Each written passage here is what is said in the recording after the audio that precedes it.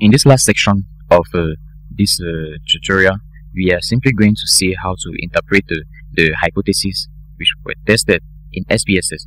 And uh, I'm just going to take one simple example for correlation. So you could go further based on your method, know how to interpret it and use the figures appropriately. So from here, after you must have exported all the results from SPSS. So you get to your Word document. Um, so here will be uh, descriptive statistics uh, for all the tables and charts. We'll go straight to the point at the level where the hypotheses are. Now, so here uh, for this company, uh, we have the first, we have the first hypothesis. Uh, you can first of all uh, introduce uh, the hypothesis section. So from here, we now have the first hypothesis or the first table that we we, we correlated. Uh, it is role played against organizational growth. So let's look at these figures in case you are using the correlation coefficient.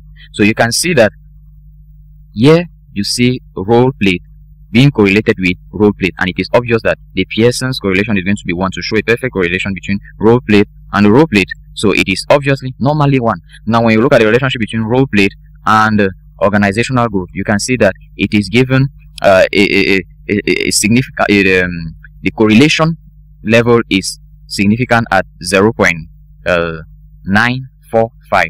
So, and you see two stars there. When you look at the two stars there, they can tell us clearly that uh, correlation is uh, significant at 0.1 0.01 meaning this um, correlation was tested at the significance level 0.01 now this uh, 0.01 is uh, the the alpha which uh, is the base of determination of, of our, our significance now here you have the p-value which is significant at two-tailed and uh, you can see here it is significant at 0.00 which is obviously less than 0.01 so you see this same table now here 30 represents the number of respondents. So you see this section up is still repeated down here because here you are correlating organizational goal with role split just like here you, you correlated role split with organizational goal. Obviously that's going to be the same um, uh, result.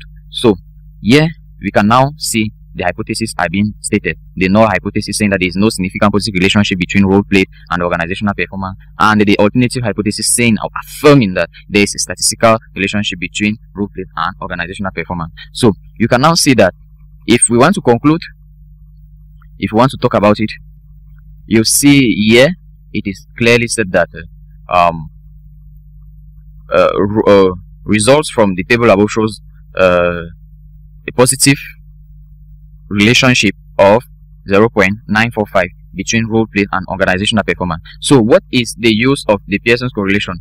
To look at the, the, the rate at which it is um, the rate of the relationship if it has a strong positive relationship or not. So obviously the Pearson's correlation ranges from negative 1 to 1 and uh, here if it is close to 1 or if it is close to positive 1 then it is strongly positive. and if it is close to negative 1 then it's strongly negative. But if it is uh, uh, uh, around 0 we can say it, it's partially kind of thing. But here you can see that it is really close to 1 0.945 so it shows that there's a strong positive relationship between role played and organizational performance. These are informations coming from SPSS and this is it we are already interpreting. Normally after this we have to talk about the significance level um i've placed it somewhere around here so, from the result of a hypothesis test, it is being observed that there is a positive relationship of 4. Uh, 0 0.95, 0 0.945 between role played and organizational performance. This relationship is significant at 0 0.000. Based on this relationship, we therefore reject the null hypothesis and conclude that role played has a significant positive relationship on organizational performance. Why? Because it is being said that if the p-value is less than alpha, we reject the null hypothesis of which we already had a null hypothesis and an alternative hypothesis. So from here, we can simply conclude that there is a significant positive relationship between role play and organizational goal. So this is the same thing you are doing for each of the other tables and the other variables. Here it is problems faced against organizational performance. Here it is causes of failure against organizational performance. And all of them are showing a significant level of 0.000 which is all less than the significance level or the p the, the, the, alpha which was pre-estimated at 0.01 so it is obvious that all of these um, um, variables we are going to reject the null hypothesis and accept the alternative hypothesis also given that the r value or the correlation value is equally very high close to 1 here we have uh, 0.945 here we have 0. 5, uh, 957, here we have 0.942, or here we have 0.902, which is equally very good. So that is how you go about the interpretation of the correlation. You can find more on the, the other methods or the other techniques used in the analysis. Thank you very much for watching. And if you have any questions, don't forget to leave a comment or get to us and we will find ways to assist you. Okay, that was all for this short program. Hope you enjoyed learning with us. One thing, learn and share with others.